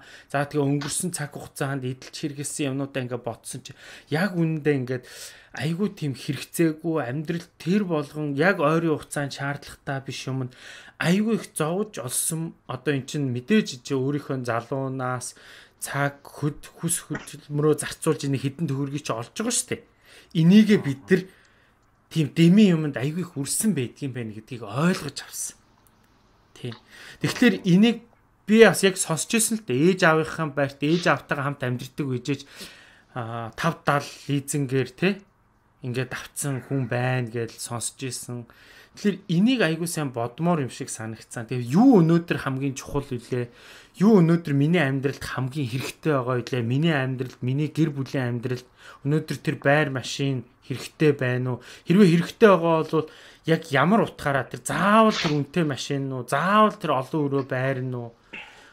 Тэрийг нэг талаас нь айгүй сайн тэр өнцгөөс нь айгүй сайн бодчихэж энэ дээр тэр өөрийнхөө зовж олсон тэр хөрөнгө мөнгийг гаргах хэрэгтэй байлээ шүү гэдэг юмыг ойлгож авсан. Аа. Аа. Тийм байна да. Товчхон доо. Аа. За би төлөвтэй яг. За. Аа байр машинтай байна гэдэг хангалуун амьдрал мөн үү гэж би бол шууд мөн гэж хэлмээр байна. За. А яагаад тэгэхээр угаасаа л хүн төрлөختөө анх үүсэхдээ л ерөөсөө агуу хайж явсан тийм аюулгүй байдлаа хангах гэж. Тэгээ дараа нь аа амт нь сургаад одоо унлаг одоо морь жишээлбэл аваад нэг юу яадаг те. Тэгэхээр угаасаа ийм байж ил бид нар хангалуун амьдрах одоо хамгийн анхны алхам юм уу? Аа. Тий би одоо гэр бүл зохиоцсон үр хөвгттэй. Тэгэхээр би заавал ханаасаа халуун ус гоож үлдээ юутай байх ёстой ёстой. Дулаахан байх ёстой тийм ээ. Дээрэс нь одоо юу гэдэг манай гэр бүлд яг таарсан одоо метр квадрат хангалттай байх ёстой. А дээрэс нь манай гэр бүлийг авч явах аюулгүй машин унаа байх ёстой тийм ээ. За бүр нэгүнтэй 5 70 G класс гэхгүй ч гэсэн За ер нь бол нэг хөдөө гадаа явцсан ч гэсэн гэр бүлийнхээ аюулгүй байдлыг хангаад нэг жоохон томхонд ирэх ч юм те. Аа. Тийм байх ёстой гэж би бол шууд 100% хэлмээр байна. А тэгээд дээрэс нь одоо юу гэдгийг манайх нэг тэгдэж штэ ээж аав заавал нэг эрэгтэй хүүхэдтэй байр авч өгнө машин авч өгнө гэл те. Аа. Үр хүүхэдтэй юмтай үлдээмээр байна гэд. Манай ээж авц ялгаагүй те. Тэгээд би зөв боддог. Яагаад одоо одоо хүүхэдтэй заавал байр авч өгөх хэрэгтэй, машин авч өгөх хэрэгтэй ингээ тий.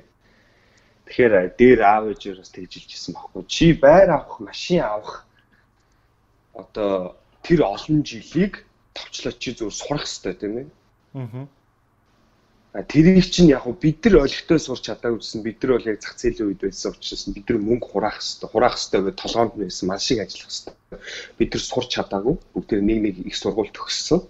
Аа А тийм учраас ерөнхийдөө одоо чанд байр авч өгнө, машин авч өгнө гэдэг чинь чи одоо тэр одоо тэр байр машин ав авах тэр ажлах хугацаагаа хугацааныхаа оронд л ерөөсө сурах хэрэгтэй. Аа. Маш сайн боломжсрал эзэмших хэрэгтэй л гэж хэлсэн юм л да. Тэгэл би тэрийг бодвол аа за за за гэж бодож ирсэн бай. Аа. Тий. Тэгэхээр ер нь бол би бол шууд 100% тийм ээ л гэж хэлэх Шууд санал нэгдэж байна гэж. Шууд санал. Энд чинь шууд одоо манай гэр бүлийн аюулгүй байдлын нэг хоёр том юм байна шүү дээ, тийм ээ. Байртай байх хэвээр, машинтай байх хэвээр. Аа. Гэхдээ би тансаглал яриаггүй шүү. Би амар гой хаусанд амьдрах хэвээр, 5 70 G унах хэвээр гэж яриаггүй шүү. Зүгээр л аюулгүй байх хэвээр, аюулгүй хороололт тийм ээ. Хүүхдүүд нь гадаа гараад тоглож ирэх ямар ч аюул байхгүй. Машин тэрэг байхгүй. Дээрэс нь одоо бид идэд хангалттай метр квадрат. Хүүхдийн өрөөг тусдаа тийм ээ. Ингээд яг л өсөж хүмүүжих тэр хүүхэд өсөж боловсроход яг хэрэгтэй байшин байх хэрэгтэй хэрэгтэй. А дээрэс нь аюулгүй машин байх хэрэгтэй тийм ээ. Хөдөө гадаа явдаг өндөр том юм суу одоо нэг шавар шавхаан суучдгүй нэг тийм машин байхад л юм болно шүү тийм. Аа ерөөсөө цаад утгаар бол тэр хэрэглээгээл тооцоолоо л гэдэг байгаа шүү дээ тий. Тий, тий. Аа. Тэрнээс ш наа шүү гэх одоо нэг E класс унаал нэг Porsche унаал ингэж нэг гангаах шүү тийм ээ. Хүмүүст таалагдах гал тий. Тий, хүмүүс таалагдав. Ерөөсөө миний гэр бүлийн л аюулгүй байдал байгаа байхгүй. Тий. Тэрийг л хэл. Тэрнээ тэгээд нөө тэр чин тэр том юм авсныхаа дараа нэргээд боол нь болчихж байгаа байхгүй. Тэгээд стресс амьдралдаа стресс нэмэл тий.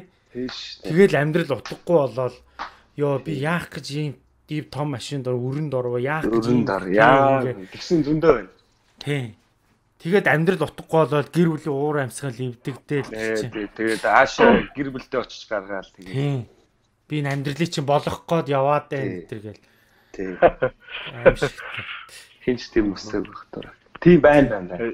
Надаа ч ёстой цэгдэг үнд би ёстой дурггүй шүү. Харин нөхөр нь орж ирчээд ажил хийгээд ирлээ мөлөө хүүхдүүд чимээг болго болго. Ялархаал гэдэг үү? Тийм би нэг айд орчоод нэг хүн тэгж орж ирсэн. Тэгээд одоо зурсээ гэж явц. Тэгэл одоо яах вэ тань. Би ч үг. Тэгээд бас мухаас За за хоёулынгийн сонслоо. Тэгээд төвшөөгийн түрүү хэлсэн дээр нөгөө минимализм яриадсан шүү дээ. Тийм. Бид тэрэн дээр манай монголчуудын монгол хэр яг тэрнийг тогсон болов уу гэж бодоод байдгийг. Тэр үл амьдарч байсан. Тийм. Хувцсны шкаф нь ганцхан авдар хоёр онтой за бүхэн мэдж байгаа байлгүй дээ.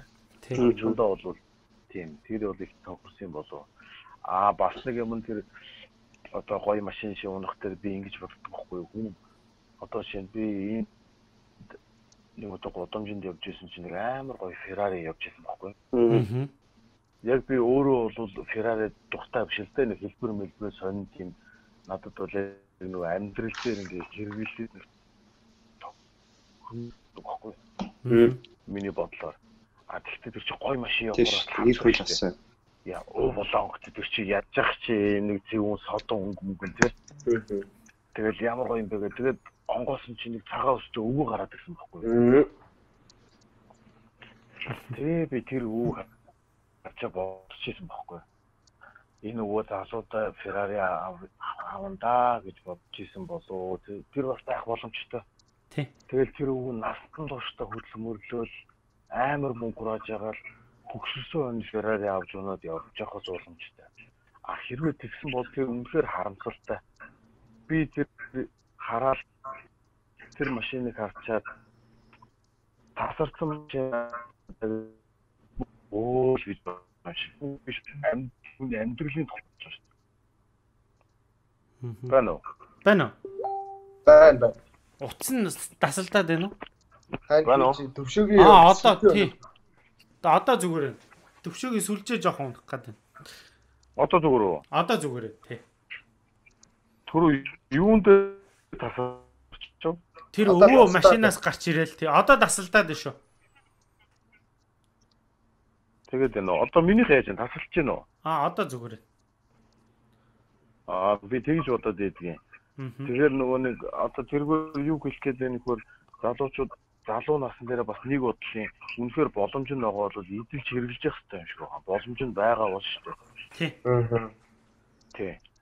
А гэхдээ яг тэр Ferrari-наас гарч ирдэг өвөө шиг хэрвээ үнэхээр тэр өвгөн тэгж тэгж одоо насаараа хөдөлмөрлж байгаад мөрөөдлөө биелүүлж Ferrari авч унсан бол бас харамсалтай. Аа. Тэр өвгөн тэр Ferrari хэдэн жил унж кайф авах юм бэ? Тэр өвгөн тийм хүчтэй машин унд сайн унж явж чадахгүй юу ч юм уу те тэр бас хэцүү. А яг энэ шиг би байртай машинтай амьдрал би гэхдээ энэ бол яг өөрөө зөв гэж хэлж чадахгүй буруу гэж хэлж чадахгүй яг голд нь л байна. Надад заримдаа бодохоор буруу юм шиг санагддаг байхгүй юу? Ганцхан ийм төрөнгөний төлөө амьдарч байгаа юм шиг гэр бүлийнхаа төлөөлдөө тэр чинь Аа. а нөгөө талаар ганцхан тэрний төлөө насан туршдаа амьдраад байртай боллоо, машинтай боллоо, тэрийг хэрэглэлээ. Тэгээд хүний амьдрал хугацаатай шүү дээ. Тэгээд тэрийг үр хөвгөдтэй үлдээн. А үлдээсэн юмнаас нь болж үр хөвгөд нь асуудал гарвал яах вэ? Нэгдүгээр. А хоёрдугаар а тэр хөрөнгийг үр хөвгтүүд нь аав нь тэгэд зориулж олсон шиг ашиглаж чадахгүй бол яах вэ? Аа. Тэ? Тэр хүн чинь амьдралынхаа идэвхтэй одоо залуу насны 30 40 жилийг тэгж хүүхдүүдийнхаа төлөө бараад хүүхдүүдээ байртаа болгоод ингээд хүүхдүүд нь ашиглаж чадахгүй бол их харамсалтай яа. Тий. Гэхдээ мэдээж хүн хүүхдэд тийм гэж бодохгүй л дээ зүгээр юу нь бодоход бол бас а нөгөө талаар ганцхан ий төрөмхний төлөө яг материалын юмны төлөө амьдрсаар байгаа дуусна гэвэл бас нэг нэг бодлоо бас байна. А нөгөө талаар яг тийм яг очроогийн хэлдэг шиг. Гэр бүлийн эцэг хүн эр хүн гэдэг бол амьдралынхаа баталгааг хангах хэрэгтэй учраас а тэрний тулд юу байх хэрэгтэй гэхээр үнэхээр ийштэй шиг явахд хүн гоохгүй хөл залгуулцдаг тийм ээ. Аа. унаатай а тэгээд ямар ч байсан бороонд норохдгүй савтай одоо савтай гэж ярих муухай л байх л да хүн болгоны хэмжээ янз бүр шүү дээ. Хэмжээ хэмжээндээ таарсан сэтгэл хангалуун байртай амьдрах одоо тэрийг үр хөвгтүүдтэй өглөөлөх а тэрийг бүгдийг авсны дараа чи өөрөө сэтгэл ханамж авах хүн чи өөрөөрөө бахарх нь дээ. Аа. Тийм ээ. За би ямар ч байсан аавынхаа үүргийг гүйцэтгэсэн, би эр хүнийхээ үүргийг гүйцэтгэлээ гэдэг. А нөгөө талаараас нэг ийм байдаг байх гэж бододгийн. Тэгээ би ингээл өөрөө нэг яг энэ хоёрын дунд нь яг аль нь зөв юм бол буруу юм бол тэгэл тэгэл эргэлзээж идэг болохоор бас та хоёрыг юу гэж боддгийг сонсох гэсэн. Тэгэж энэ асуултаа болгоолоо. Яг энэчнээс бол алтан дундчийн л бас барайл явах ёстой юм шиг санагдчихлаа л та тий. Тий. Яг нэг тал руу ингээд бүр хазааж болохгүй. Хэрвээ хазаахал юм бол амьдрал өөр утгагүй болоод тэр эд хөрөнгөний боол болоод тий. Тэгээ амьдрал өөр утгагүй болох байхгүй. Яг л гоё алтан дундчийн барайл Тий. тэр амар үнэтэй байшаа авах байсан бол яг л өөрийнх нь хүүхдүүдийнх нь хэрэглэн таарсан байр дундаж тийм байш болдоо тэрийг аваад тэр харин мөнгөөрөө чиг үр хүүхдүүдтэй зарцуулж гоё аялж те ингэж хорвоо ертөнцтэй танилцсаж явбал энэ өөрөө жиг аз жаргал юм болов Аа. надад л тэгж л бодогч Аж аргал ихтэл аюул болно шүү. тий Тэрнээс биш ингээ заав нь ёстой амар үнэтэй ийм тохиол байж болж байгаа.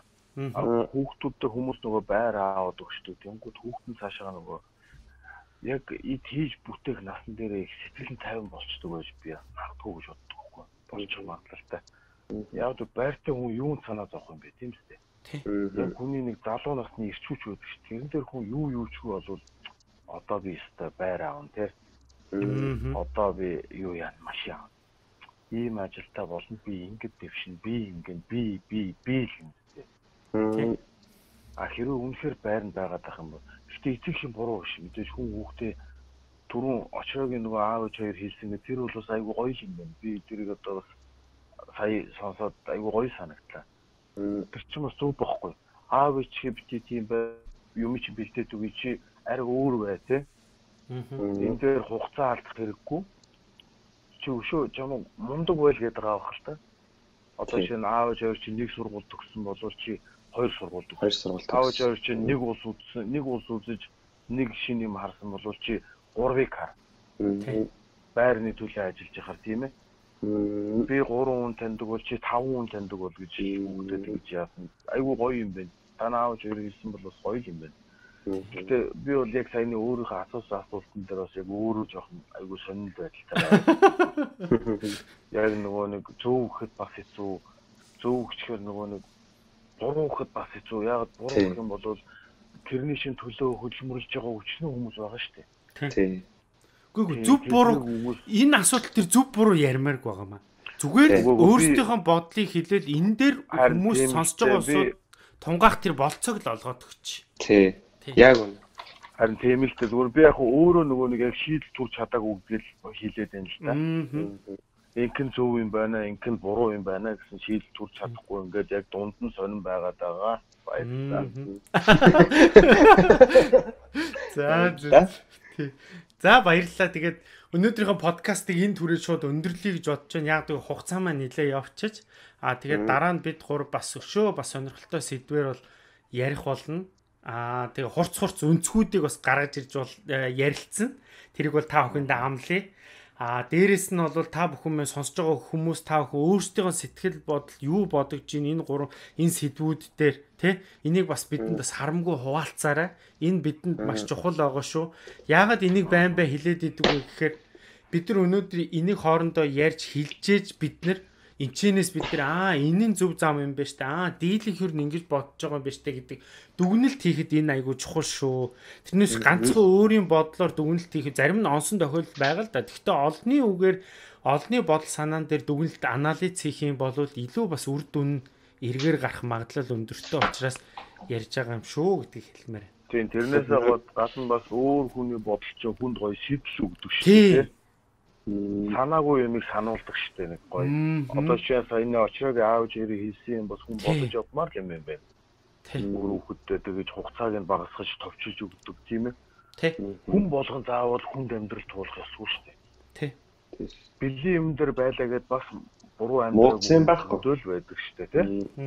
Тийм өшөө тэрийг гоё өргөжүүлээд үнэхээр яг очрог ээж хоёрын хэлсэн шиг тэр хугацаагаа хэмнээ тэр хугацаанд илүү их хийнэ гэж их хүчтэй хийж байгаа хүмүүс бас зөндөл байгаа бах тийм ээ. За ингэ дуусгах уу? Тэ? Тэгээ. За дуусгах тэгээ. За ингэ дараагийн подкастаар эргээд уулзъя баяр та. Баяр та. За баяр та.